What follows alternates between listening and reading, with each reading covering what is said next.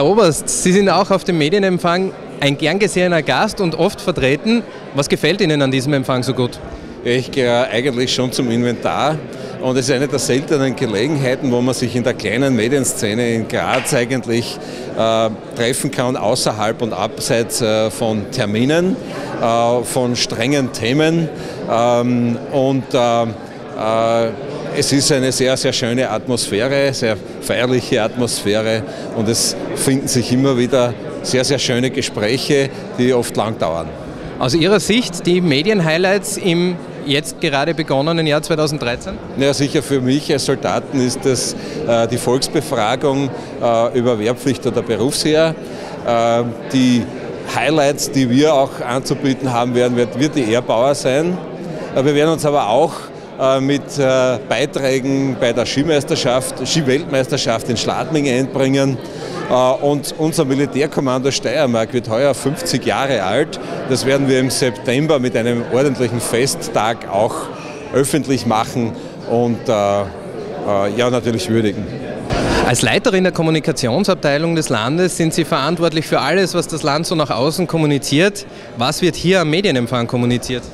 Das gute Einverständnis und die Kooperationsfreude und die Informationsfreude von den steirischen Medienschaffenden. Das heißt ein Abend zum Netzwerken? Absolut. Nicht zu versäumen. Wie lange wird der Abend dauern? Ich würde sagen, so bis gegen Mitternacht. Ein gesellschaftliches Event der Spitzenklasse. Würden Sie den Medienempfang der steirischen Landesregierung so beschreiben? Selbstverständlich, es ist ein sehr großes gesellschaftliches Ereignis und es ist vor allem ein sehr spannender und lustiger Treff der Medienbranche.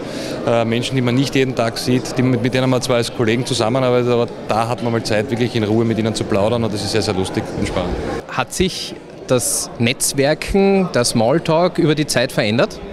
Ja, es hat sich definitiv verändert. Äh, ich muss wirklich sagen, leider ist vieles virtuell geworden. Äh, manchmal ist es halt doch schön, wenn man Auge in Auge mit jemandem reden kann. Äh, da ist sicher mit Facebook und Co. einiges passiert. Äh, deswegen ist dieser Abend auch doppelt schön, wenn man die Leute wirklich wieder mal sieht. Wie gefällt Ihnen der Medienempfang der Steiermärkischen Landesregierung? Ja, der ist wie jedes Jahr ein, sehr angenehmer Auftakt des Jahres, des Arbeitsjahres und vor allem deswegen so angenehm, weil hier Journalisten unter sich sind, mit der Politik und irgendwie ist man im selben Boot.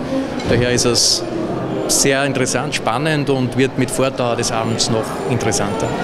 Äh, als ausgewiesener Kenner der steirischen Medienszene kennen Sie sicher auch die eine oder andere Geschichte, die vielleicht noch nicht publiziert wurde. Gab es da aus Ihrer Sicht ein Bonbon einmal am steirischen Medienempfang? Na, da gibt es sehr viele äh, Bonbons und sehr viele Geschichten, die noch nicht publiziert sind, aber zu Recht sind die nicht publiziert und mit gutem Grund und dabei soll es auch bleiben.